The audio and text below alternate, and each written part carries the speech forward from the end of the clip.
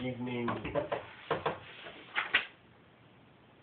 Late night, I don't know what time it is. I know the clock. And I just wanted to say thank you. I, I got a really great comment from a pianist in Thailand that I've been watching.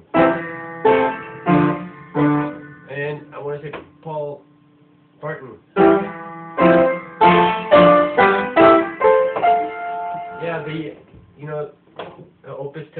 10 number two is a really.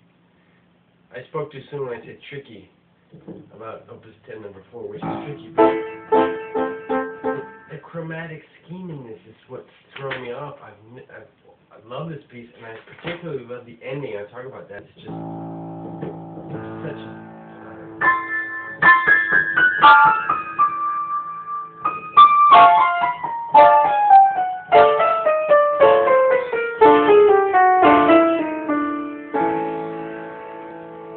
it's so beautiful.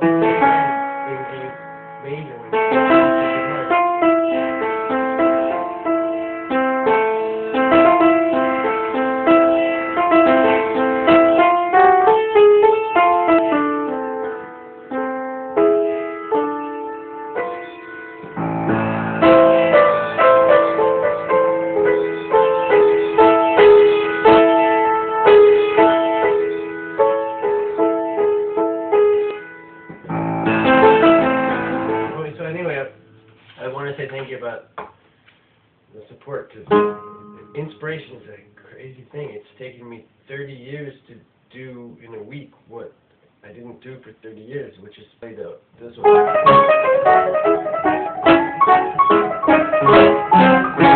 Coming along much even better than the run through, which is amazing because I just I thought I could never play that piece. So yeah, I will work on this one.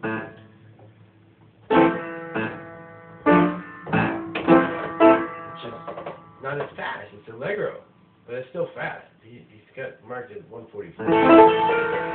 And I have some interesting practice techniques that I hope once I have the 10-4 down, I can do a, an additional tutorial. And I would love to work that way because I think this is the reason I'm making this video is I want to say that although YouTube makes all of these changes and, and I'm complaining, people are complaining about the new channel design and whatnot because they're just crazy. They just keep changing.